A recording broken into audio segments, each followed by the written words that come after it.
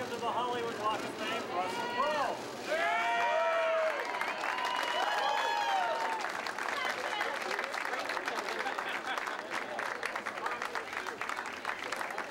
Russell Staff.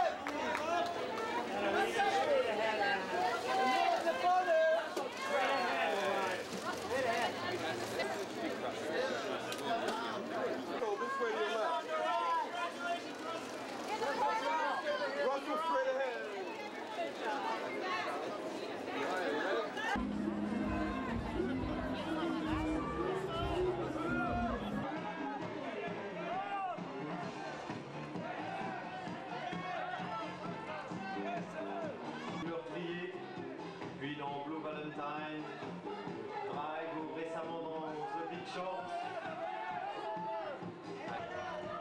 Russell Crowe qui photographie